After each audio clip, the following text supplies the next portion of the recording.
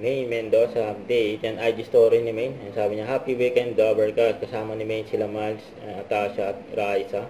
Ang ganda nila, oh. Bagay sa kanya. Tapos ito pa na binati rin ni Main, si Tito Sen, happy birthday. Sabi, grateful to you and for you. Ayan, kulit pa nga ni Main dito eh. Hinatak na siya ni Ma'am Alan. Yan kay Kuya Jose. Dahil yellow team na si Kuya Jose. Nakaka na sa binte si Main kay Kuya Jose.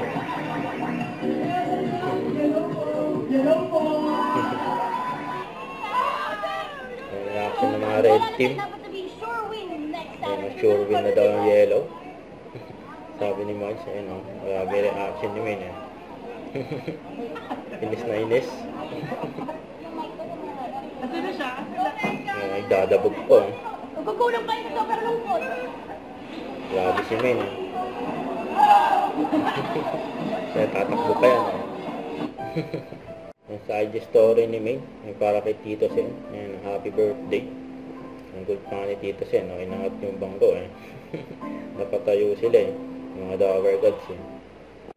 Huwag kalimutan mag-subscribe, click ang notification bell for my update. Ito po ang Richard Reaction Vlog. Bye guys, thank for watching.